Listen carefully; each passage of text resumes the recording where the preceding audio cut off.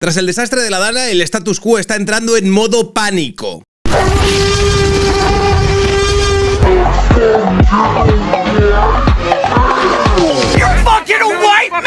Este vídeo está patrocinado por CyberGhost VPN. Imagina que viajas por la disformidad de la red sin la protección adecuada. Cualquier agente del caos o incluso tu propio proveedor de internet podrían capturar tus datos, pero con CyberGhost VPN tu información está encriptada como si estuviera dentro de una armadura táctica de la Guardia Imperial, asegurando que nada ni nadie pueda acceder a ella. Uno de los poderes más épicos de CyberGhost VPN es que te permite traspasar por los sistemas estelares. ¿Quieres acceder a catálogos de contenidos de otros planetas? Con un par de clics puedes cambiar de sector y acceder a catálogos de Netflix, Hulu, Disney Plus y otras 40 plataformas de streaming. El imperio nunca había sido tan vasto. ¿Y es que sabías que el catálogo de Netflix en Terra tiene un 50% más de contenido que en otros sistemas? Pues ahora ya lo sabes. CyberGhost está disponible en Windows, Mac, iOS, Android y hasta en consolas del Mechanicum. Básicamente, si tu dispositivo se conecta a la red de la astronómica, CyberGhost lo protege. Además, puedes conectar hasta 7 dispositivos en una misma suscripción. Comparte esta bendición del emperador con tus aliados de batalla o tu escuadra. Si utilizáis el link de la descripción, no solo protegeréis vuestra información, sino que también estaréis apoyando el canal con un precio legendario de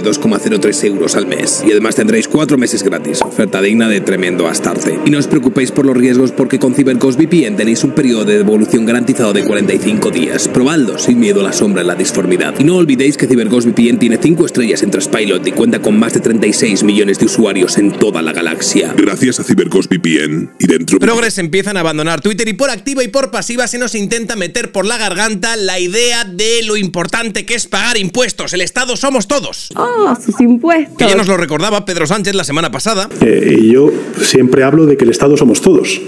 El Estado somos todos.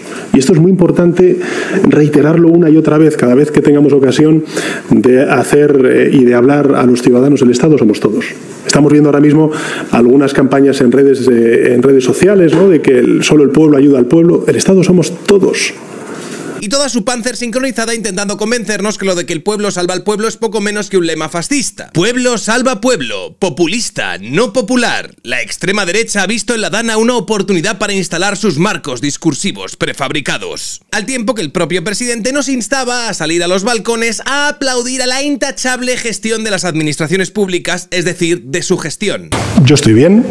Yo recuerdo durante la pandemia, a las 8 de la tarde, todos los ciudadanos de Valencia y del resto de España nos convocábamos en los balcones para aplaudir a los profesionales sanitarios. Hoy hay que hacer lo mismo con todos los servidores públicos de todas las administraciones públicas que están trabajando codo con codo con los vecinos y vecinas, con las ONGs, a los cuales toda esta amalgama de desinformadores y de, y de bulos lo que hacen es señalar injustamente, todos somos Estado. Todos somos Estado y la realidad se está intentando intoxicar con tanto, tanto, tanto, tanto bulo Decir que el Estado no se desplegó es falso, es un bulo. Decir que el ejército no se desplegó es falso, es un bulo. Hasta el punto que desde el Ministerio de Defensa se atreven a poner tweets como el siguiente. Estuvieron desde el minuto uno y seguirán estándolo todo el tiempo que sea necesario en cada uno de los municipios afectados por la DANA. Gracias por vuestro trabajo, siempre hashtag para servir. Para servirle a usted, a sus pies, señorita. Y aquí nadie está en contra del ejército, pero sí de la flagrante falsedad de que esta gente estuvo ahí desde el minuto uno. Sobre todo teniendo en cuenta que enfrente hemos tenido a un pueblo abandonado, pudiendo poner como ejemplo las impactantes imágenes de aquellos bomberos franceses atónitos al llegar a un pueblo de Valencia y enterarse de que no habían recibido ayuda. Ellos habían sido los primeros en llegar. on est les Sin embargo, el Ministerio de Defensa tuitea que estuvieron desde el minuto número uno. Que Alberto Olmo replicaba, una cosa que he aprendido con la Dana es que al PSOE se le da mal el presente y necesita que transcurra el tiempo para producir realidad. Bastan dos semanas, entonces el pasado se vuelve maleable, se puede ya decir cualquier cosa y se repite sin cesar. Pero lo que sucede en este caso es que ese pasado trágico del que habla Alberto Olmo sigue siendo el presente para muchas personas en Valencia. Y es que esto era el pasado 16 de noviembre, dos semanas después de la tragedia.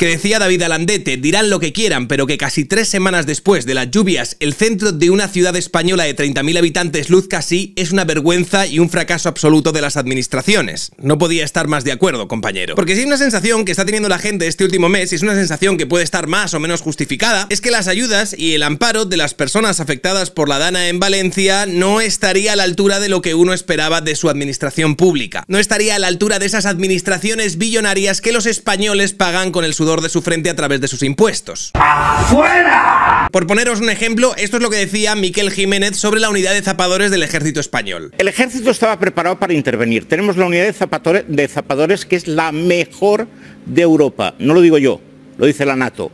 Que para que los de fuera digan que algo del ejército español está bien, ha de ser muy bueno. Para los que no lo sepáis, los tapadores son los soldados que se dedican a la construcción de puentes y otras estructuras en tiempos de guerra, o en catástrofes extremas como las que sufrió Valencia hace unas semanas. Sin embargo, estos días en Picaña, uno de los pueblos más afectados, de los cuales hemos visto un vídeo anteriormente, han sido los vecinos los que han construido un puente con puertas de madera para construir una pasarela en un barranco para comunicar dos barrios del municipio. Solo el pueblo salva al pueblo cuando nadie más viene a ayudar.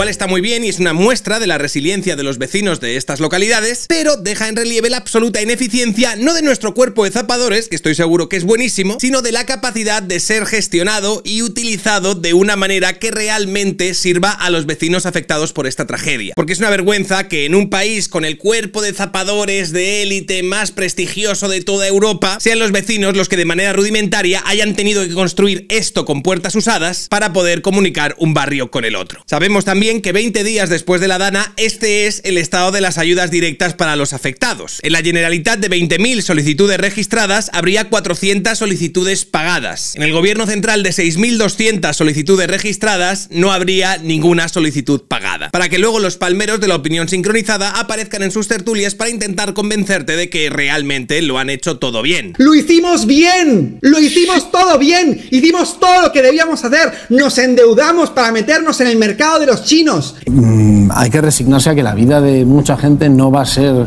como lo era el día 28 de octubre. O sea, habrá ayudas, pero es muy difícil eh, plantear que la vida se vaya a parecer en algo a lo que, a lo que fue. Em, yo entiendo que la burocracia tiene muchas complicaciones, pero es que es necesaria.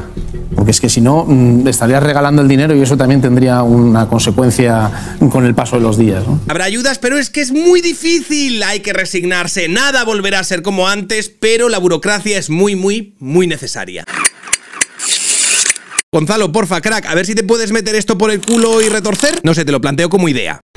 Oh. Uh Y es que al final, en estas últimas semanas, yo creo que lo que ha ido trascendiendo un poco en la mentalidad de muchas personas es el absoluto shock de que a pesar del infumable vodevil al que nos someten los políticos, uno esperaba que en caso de emergencia, en caso de catástrofe, estuviesen ahí para asistirte desde el segundo uno. Porque la millonada que todos pagáis en impuestos, pues así lo debería predisponer. Sin embargo, a la hora de la verdad, como muy bien decía María Jamardo, pagamos impuestos al nivel de Noruega o Suecia y la realidad es que nos levantamos en Sudán. La gente que se levanta todos los días y baja a la calle y pisa de nuevo barro y ve que eso pasan los días y no sale y lo sigue teniendo ahí a la puerta de su casa y duerme con ello y tiene que hacer guardia porque las puertas todavía no están reparadas y porque hay gente que aprovecha la, inseguridad para saquear. La realidad es que ha visto que paga impuestos en este país al nivel de una socialdemocracia nórdica que nos han vendido como si fuéramos Noruega o Suecia o alguno de estos países y se levantan en Sudán. y lamentablemente eso, eso es inapelable y es inopinable. Porque aquí pagas impuestos y te venden el mantra que siempre, siempre, siempre defienden los mismos de no, es que lo público, es que lo público no ha funcionado porque ha sido ineficiente, no ha sido inmediato ha colapsado, como decía Mark, en las horas críticas donde debería estar el primero. Porque para eso lo pagamos. No es una cuestión de que ese Estado omnipotente y poderoso deba apiadarse de sus ciudadanos españoles porque lo están pasando mal. Es que esos ciudadanos españoles, a través de unos impuestos confiscatorios, han pagado a un Estado todopoderoso para que en caso de una emergencia como esta pueda atenderlos desde el segundo uno. Y de lo que se han dado cuenta es que efectivamente los impuestos son confiscatorios, de todo lo que ganes te vamos a quitar la mitad. Menos lecciones de patriotismo y más cumplir con la patria pagando impuestos. el patriotismo es pagar tus impuestos. Pero a la hora de atender tus necesidades en un desastre natural como este, a ver si eres tú el que se puede ir construyendo un puente con puertas usadas para conectar un barrio con el otro, porque nosotros estamos muy ocupados haciendo otras cosas muy importantes. Claro, esta inacción, esta ineficiencia que muchas personas llevan denunciando desde hace mucho tiempo, empieza a generar un run run y empieza a generar ruido en redes sociales que nuestro status quo no puede controlar. A muchos les empieza a dar miedo y aprietan el botón del pánico. Que te vote chapote, Sánchez, socialista, hijo de puta, genocida. Bueno, Que- eh, eh, creo que Lo que, lo que da pie a que nos encontremos en algunas terminales del Estado, como puede ser, por ejemplo, la sexta, piezas de propaganda que asustan a los muertos. Atención porque lo que vais a ver no tiene desperdicio. Vamos a hablar de impuestos, porque además al hilo de la desinformación, de lo que algunos están vertiendo en redes aprovechando esta desgracia, ha habido muchos que han aprovechado para poner en cuestión, precisamente ahora, los impuestos, que que pagamos muchos impuestos. Este discurso ya no lo sabemos, pero ahora, con el ejército en las calles, con la policía y con más que hacen falta, todavía es más sangrante, lo vemos. y el sudor es el que nos va a dar el nivel o sobre todo la droga que hemos tomado. En concreto José. que sirve para medir la cocaína, el cannabis, las anfetaminas y otro tipo de drogas. Dime, Pilar. ¿Podemos hacer un ejemplo? ¿Te atreverías a hacerte este test en vivo y en directo? Te he pillado. Le he dejado, vamos, sorprendidísimo. José, no sé si lo escuchas. trailers enormes en la comunidad valenciana para enviar directamente comida que no pase por los putos impuestos de mierda de hijos de la gran puta del gobierno. Dios mío. ¿Dónde están nuestros impuestos? Ahora. He decidido que en los próximos dos meses no voy a pagar dinero a Hacienda. Si el gobierno necesita mi ayuda, que la pida. ¡Una polla! Ni uno más. Paso. 12,2 millones de reproducciones. Es lamentable que youtubers con tantos millones de seguidores Bienvenidos. hagan apología de la evasión fiscal. Tristemente, con todo lo que está ocurriendo en Valencia, está siendo más efectiva la iniciativa ciudadana. ¿Acaso alguien cree que los bomberos van a aparecer sin más o que la ambulancia llegará al instante si no hay recursos para mantener esos operativos? En las últimas 24 horas he mandado más comida y palés de agua a Valencia que todos vosotros juntos. Sois escoria. Son muy polémicos porque eso les genera a su vez más visitas. 3,3 millones de reproducciones. Yo soy un ser superior. Y de ahí, de donde ellos sacan también buena parte de sus ingresos. En muchos casos se espera un estado del bienestar, decir, joder, yo pago unos impuestos para recibir esto a cambio. La explotación de ese relato a ellos les da beneficios. Lo que está pasando en Valencia no es normal. Pagamos impuestos por respirar. ¿Dónde va todo el puto dinero? Es auténtico, cara dura, ¿no? Que algunos influencers estén utilizando tragedias como la Dana que muchos además optan por tributar en Andorra para eludir sus obligaciones fiscales en España. La última vez que fui fue en Andorra. Estabas en Andorra, sí. Es más que una simple elección personal. Ellos salen beneficiados. Cuando pagas tus impuestos, tus impuestos no vuelven. El uso de, de música, de mensajes eh, directos, con frases cortas. El pueblo, el pueblo. Apelando a que la gente salga a la calle de una manera contundente. ¿Qué pasa? Que para Marruecos tenemos de todo prácticamente instantáneo. Pues es una manera de seducir y de llegar a todas las capas de la población. Se nos obliga a pagar unos impuestos de manera coactiva y no son pocos. Los impuestos son importantes para reconstruir Valencia, eh, para hacer frente a todos los costes sanitarios. Los hospitales, la educación, eh, la red de carreteras, el transporte público, la policía, los bomberos. Con la mano derecha un hospital, con la mano izquierda un colegio, con, con, con el levanto una estación de buses. Que pagando el 50% de nuestro sueldo en impuestos, seamos también nosotros los que les tenemos que mandar materiales. Estamos utilizando servicios públicos que no caen del cielo. Estoy pagando un montón de impuestos y ¿qué recibo a cambio? Porque no hay nada gratuito en nuestra vida diaria. Estamos viendo ahora mismo algunas campañas en redes sociales, solo el pueblo ayuda al pueblo. El Estado somos todos. El pueblo sin instituciones es un sálvese quien pueda. Es una ley de la selva. Es la lucha de todos contra todos. El pueblo sin instituciones lo único que hace es que cada uno mire su culo. Pero con una reflexión para los propios políticos para que gestionen lo público mejor. ¡Bravo! Claro, llegados a este punto, con lo que hemos estado viendo las últimas semanas, es tal insulto que estos chocolate aparezcan en televisión con una pieza de propaganda como esta, hablándote de no, es que la importancia, esos impuestos, esas ambulancias, esos bomberos, esas personas que van a rescatarte, que no nos salen gratis, hay que pagarlas con dinero público.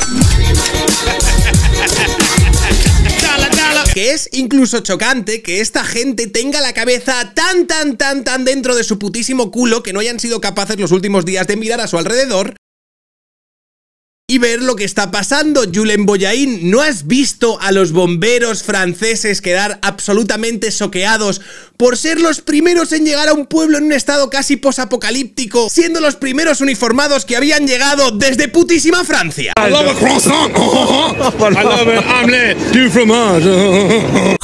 Importante pagar impuestos para las ambulancias y los bomberos y los hospitales. Te puedes enjuagar la boca con mis pelotas, colega.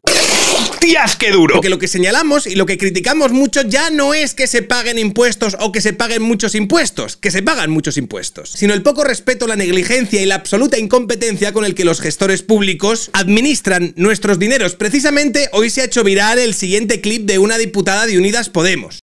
Despelujar, atacar, cualquiera, nacencia, querencia, coruja, ven aquí. ¿Tiene sentido estas palabras? Desde siempre han sido la nuestra forma de hablar y relacionar.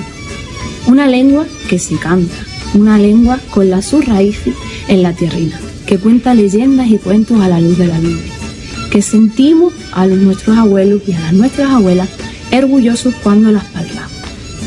Somos personas abondo esas a las que nos cumple de sostribar las nuestras lenguas, el extremeño, el rellano y las modalidades de fala. Y lo que esta chocolate está haciendo es reivindicar una nueva lengua, en este caso la extremeña. Y lo que esta diputada de Unidas Podemos está celebrando es que se habría aprobado su propuesta de declarar bien de interés cultural el extremeño y el portugués rayano. Eso es mucho, muy importante. Este es el sueldo de la diputada en cuestión. ¿Y qué significa que el extremeño se haya convertido en un bien de interés cultural? No tengo ni puta idea, yo qué sé. Pues básicamente significa que además de construir nuevos muros identitarios nacionalistas para intentar separarnos y crear fronteras entre los propios españoles, también se estaría reivindicando el denme dineros. Necesitamos euros, necesitamos euros, necesitamos perras para poder preservar este idioma inventado.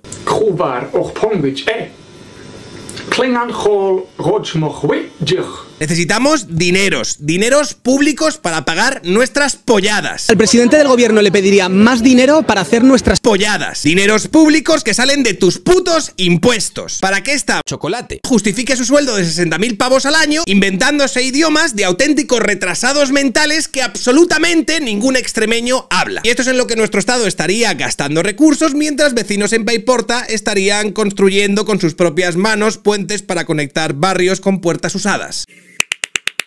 La campaña del hombre blandengue de Irene Montero nos costó más de 2 millones de euros. La campaña también de Irene Montero, en la que decían si no eres tú, entonces quién, en la que señalaban como imágenes de los agresores sexuales a Pablo Motos o al Chocas, costó 2 millones y medio de euros. Eso es poco, eso es poco. Gastaron 600.000 euros de dinero público en másteres universitarios sobre feminismo e igualdad de género. Gastamos más de un millón de euros a través de la dirección de la Agencia Española de Cooperación Internacional para la ejecución de la acción. En la ejecución de la acción internacional Internacional de Mujeres, Café y Clima, Empoderamiento Femenino para la Resiliencia Socioecológica de la Cadena de Valor del Café frente al Cambio Climático en Etiopía, gastamos más de un millón de euros. Este festival de perreo feminista perpetrado por el gobierno de Canarias utilizando fondos del Pacto de Estado contra la Violencia de Género nos costó más de 100.000 pavos. Y mucha gente podría acusarme de estar haciendo demagogia porque estos gastos serían relativamente superficiales y forman parte de partidas presupuestarias regionales o coyunturales y de no haberse gastado no significa que el Estado hubiese tenido recursos para poder ayudar a los pobres valencianos, ya que en el fondo pues representarían una infimísima parte del PIB español. Pero señores, yo de lo que estoy hablando aquí es de gestos y del grado de negligencia y soplapollez con el que nuestros funcionarios, con los que nuestros administradores públicos gestionan nuestro dinero. Porque ¿cómo puede una persona gastarse un solo euro en la putísima resiliencia socioecológica de la cadena del valor del café frente al cambio climático en Etiopía, en la puta misma realidad en la que ese mismo Estado no es capaz de ayudar a unos unos vecinos en una situación como la que sucedió hace unas semanas en Valencia. No sois ratas, sois las bacterias de las ratas. ¿Cómo tenéis los absolutos cojonazos de aparecer haciendo piezas de propaganda en la sexta diciendo que los que estamos alertando sobre la ineficiencia del gasto público realmente somos peligrosos entes de la ultraderecha porque todo el putísimo mundo sabe que nuestros impuestos van para carreteras, hospitales y pagar a los bomberos que tanto están haciendo por las víctimas de la tragedia de la Dana en Valencia. De nuevo, desde aquí solo os puedo decir, comedme la putísima polla. Ahora me volvéis a sacar en un puto reportaje de la sexta. Soy un tío blancuetero, dale like si te ha gustado el vídeo, compartid y suscribiros al canal. Recordaros que abajo tenéis el enlace para poner todas vuestras noticias, sugerencias, tweets, episodios, Instagrams, TikToks a los que queréis que reaccione. Ahí abajo está. Quiero dar las gracias a la gente que me apoya, quiero dar las gracias a la gente que me sigue, a los que estáis suscritos al canal, a los que no os tiraría en mitad del Atlántico con un ancla atada al tobillo. Quiero dar las gracias a toda la gente que está en Twitch todos los días y que me apoya por ahí, a los que me apoyáis por PayPal, a los que me apoyáis por Patreon, a mis privilegiados opresores machirulos, señoros y otros tíos blancos hetero. No podría hacer esto sin vosotros. Es para mí un placer estar aquí todos los días hablándoos a todos vosotros de actualidad con un poquito de humor, representando a la calvocracia asertiva. Nada más, eso es todo. Un honor, un saludo y hasta otra.